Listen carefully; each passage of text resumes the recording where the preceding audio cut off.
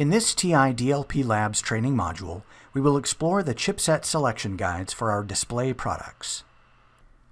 The TI DLP Display and Projection Chipset Selection Guide can help product developers select a DLP chipset for display applications by providing an overview of all DLP display chipsets. It contains two sections. DLP Pico chipsets, which are designed for small form factor, low power display applications, and DLP standard chipsets designed for high brightness, large screen size display applications. Product developers interested in DLP technology for advanced light control or automotive applications should visit ti.com/dlp for more information.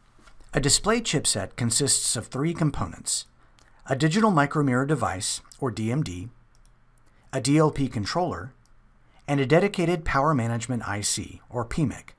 This selection guide provides helpful references for which combinations of components work together in a given chipset. The DMD is a microelectromechanical or MEMS device that modulates light. It can vary in resolution and size and can contain over 8 million micromirrors, each representing one or more pixels. The DLP controller chip is the digital interface between the DMD and the rest of the system. It takes digital input from the front-end receivers and generates the necessary signals required to display images on the DMD. The PMIC provides all the voltage regulators required by the DMD, DLP controller, and the illumination drivers like LEDs, laser, and color wheel motor drivers. It also provides monitoring and protection functions. Each chipset component has its own unique part number to be easily identifiable and differentiated from other parts. The DMD part number consists of a device descriptor, for example, DLP470TE or DLP470TP, TI internal numbering, and the package type, for example, FXJ. Some devices also include both human-readable information and a two-dimensional matrix code.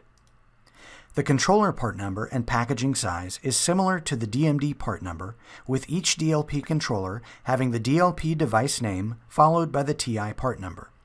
Typically, a DLP controller part number starts with DLP followed by C, which stands for controller. The digits following the C identify the unique controller part number. The package size is the physical length and width of the device measured from corner to corner. For example, DLPC 3430, which is 7 by 7 millimeters squared. The PMIC part number consists of DLP followed by A, which indicates that the part is a PMIC. The digits following the A identify the unique part number. For more information, see the device marking section of the datasheet of the product you are interested in. The micromirror orientation is the orientation of each micromirror relative to the DMD package. For the square orientation, the micromirror edges are parallel to the DMD package edges. For a diamond orientation, the micromirror edges are rotated 45 degrees relative to the DMD package edges. In a DLP system, the display resolution is a function of the number of mirrors on the DMD. Each mirror can represent one or more pixels of the displayed image. Resolution is the number of pixels that can be displayed on the screen, and it is measured by the number of horizontal pixels in each row and the number of vertical pixels in each column. DLP display resolutions range from 640 by 360 or NHD to 3840 by 2160 or 4K UHD. The micromirror pitch is the distance between two micromirrors measured from the center of one micromirror to the center of another micromirror vertically or horizontally in micrometers. The micromirror array diagonal size is the size of the micromirror array measured diagonally in inches.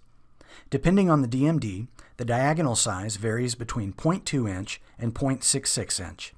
The DMD part number incorporates the array diagonal. For example, the 0.66 inch diagonal size DMD has the part number DLP660TE. The DMD package size is the height and width of the entire DMD package. Typically, the smaller the micromirror array diagonal size, the smaller the DMD package size. Illumination direction is the orientation of the illumination path relative to the micromirror array. The DMD can be illuminated from the side, bottom, or corner depending on the micromirror design. Brightness is the amount of visible light emitted from a projector or projection system. It is measured in ANSI lumens and is independent of image size. With TI DLP technology, it is possible to create projectors spanning a broad brightness range, from 30 lumens for projectors embedded into products like smartphones or tablets, to over 10,000 lumens for large venue projectors. Image diagonal size is the recommended maximum screen size for each projector measured diagonally in order to maintain constant image brightness, or nits. The image diagonal size depends on the projector lumen's capability or brightness. Typically, the image diagonal size scales with projector brightness capability. Illumination power consumption is the amount of power the illumination source uses while it is turned on. The table lists the maximum amount of current supported by each PMIC. Typically, higher current means higher brightness capability. The appropriate PMIC should be selected based on the illumination type and brightness needed. The frame refresh rate is measured in Hertz, and it is simply the number of frames displayed each second. Typically, the higher the refresh rate, the smoother, cleaner, and sharper the video appears. DLP IntelliBright algorithms consist of a suite of image processing algorithms, Local Area Brightness Boost, or LABB, and Content Adaptive Illumination Control, or CAIC. Local Area Brightness Boost is a TI image processing algorithm that adaptively enhances or gains up dim regions of an image on a frame by frame basis, resulting in brighter, more dynamic images. Content Adaptive Illumination Control is a TI image processing algorithm which offers either power reduction, brightness enhancement, or a combination of the two. Keystone correction is used when the optical axis of a projection system is not perpendicular to the screen, resulting in a geometrically distorted image. The keystone distortion can be corrected optically, which is very difficult, cost prohibitive, and is not adjustable, or by image processing. DLP controllers provide keystone correction by remapping the input image to the DMD array in such a way as to produce a rectangular image at the screen. DLP's standard chipsets are designed for display applications that demand the highest brightness and performance. Example applications include laser TV, digital signage, and business and education displays, among others. DLP Pico chipsets are designed for display applications that require a small form factor and low power consumption. A few example applications are smartphones and tablets, battery-powered Pico projectors and mobile smart TVs, AR and VR wearable displays, and smart home displays. We hope you have enjoyed learning about the components of a DLP chipset and the different applications for which they can be used. For more information, visit ti.com/dlp. Thanks for watching.